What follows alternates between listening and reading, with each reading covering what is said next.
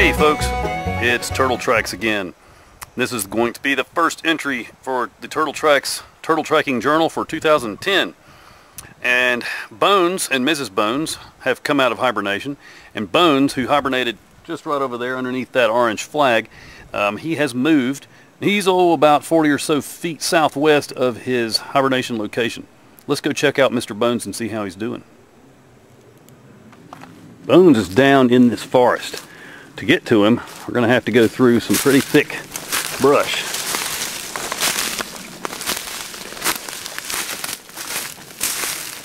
But he's not that far from his location where he hibernated.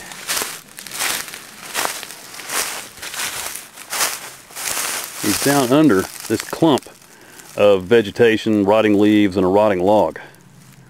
He's not too far from a little creek. There's a little creek flowing right down in this little drainage here. He may be on his way down to the creek to get some water after his long winter's nap.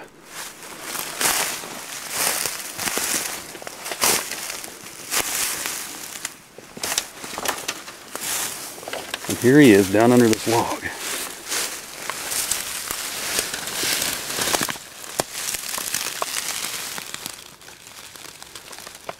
There's Mr. Bones.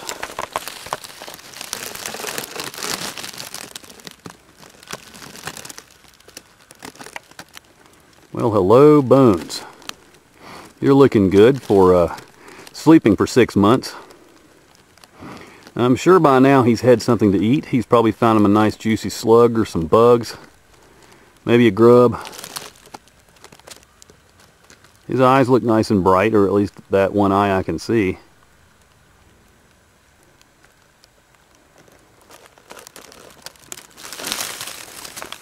You can still see some of the orange paint on his shell from last year.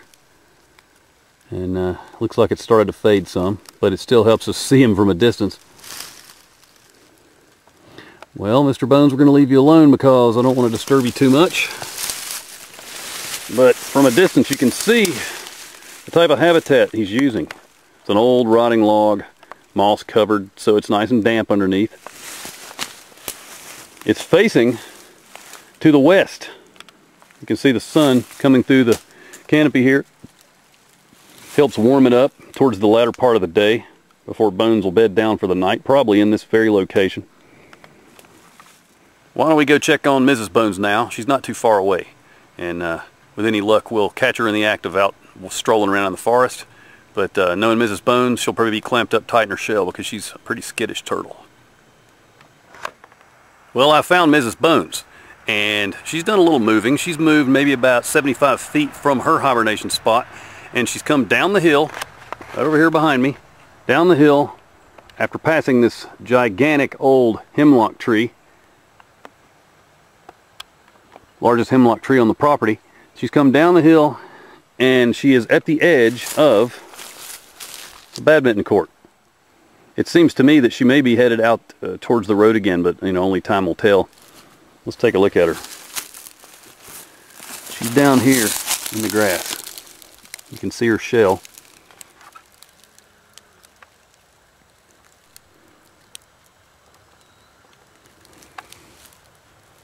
I'm not going to disturb her because, well, I don't want to change her activity. So I'm going to leave her alone.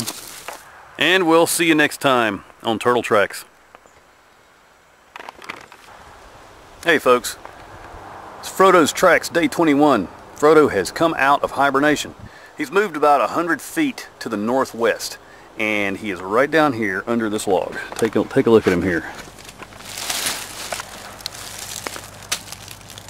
He's sitting there tucked up under the leaves, and he's probably down in there because it's so incredibly warm here. With the sun beating down on the leaf litter, it's around 100 degrees, believe it or not. That's because the sun is just beating down on this spot right now. And the forest floor gets very little breeze down in this little cove so it just it just heats up and heats up. The humidity is really low too so there's a bit of a fire danger. So I'm not going to strike any matches. But anyway let's check Mr. Frodo out. I need to weigh him. This will be his first weight for the year so let's check him out. First of all I have to just give him a good health check. There he is you look great, Frodo. Eyes are bright, no parasites visible on your uh, on your body at all so far. You seem nice and heavy. Transmitter's still in place and obviously transmitting or I wouldn't have found you. Alright, don't want to bother you too much, but take a look at him there. First look at Frodo for the year. It's amazing that he survived that incredibly cold winter deep in that snow. Alright, here we go in the camera bag. Nobody likes the camera bag. Sorry there, man. I don't always use the camera bag, but thought I would this time. Oh. Hope he doesn't pee in it. 955. All right, Frodo, you're coming out. Sorry about that. Let's put you back. One last about of Frodo.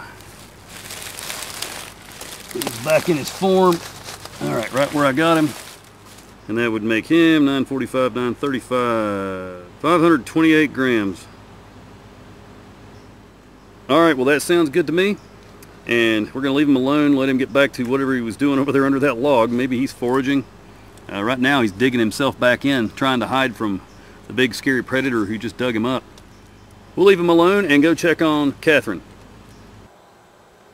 Hey folks, it's Catherine's tracks, day 71, and she has moved only oh, about 40 feet to the west of her day 70 location. And if you look, she's right down here. Sitting here on the uh, side of this uh, southeast facing slope, catching the morning rays of the sun. And the interesting thing, the interesting thing is not that she's sitting here, but that on the same hillside, not 20 feet away, is another box turtle. Let's go check it out. It may be a new turtle. Now, Catherine is right up there beside my thermometer in the leaves. And right down here is, is another turtle. Sitting here, tucked up under this little stick, as you can see. I'm going to pull this turtle out and see if it's one we've seen before. I've never, I don't know. Let's see, can we tell from here? Yes, look, there's a notch. See that little triangular, triangular shaped notch there? We've marked this turtle before. Let's pull her out and see who it is. She's not going to like this, I know. Well, hello there. Who are you? You are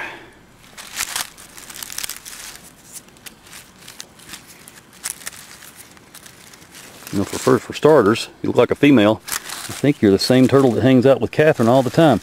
Okay. A, C,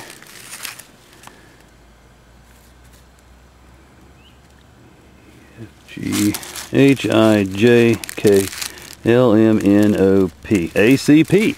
I believe ACP is the same turtle that hangs out with Catherine quite a bit. I think she follows her around. Maybe she's following Catherine's scent. I don't know, but I have to go back and look in my records. If you look, there's her little form. You can see where she was tucked back in the dirt there. I'm going to put her right back. Well, you know what? I do need to weigh her first. See how see if she's gained or lost since last time I weighed her. All right, let's do that.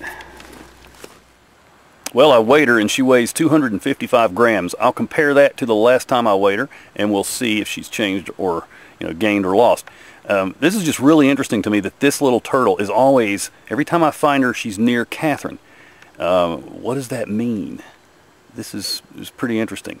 Um, so I'm just going to keep keep an eye out for this turtle. I'd, I'd, love to put a transmitter on her and just see if she sticks with Catherine. That would be so cool to do. Does she stay with Catherine everywhere she goes? Hmm. If, she, if she's heavy enough, maybe I'll do that. I just don't have another transmitter. what can I do? Well, we'll just have to see what happens. Until next time, we'll see you later on Turtle Tracks.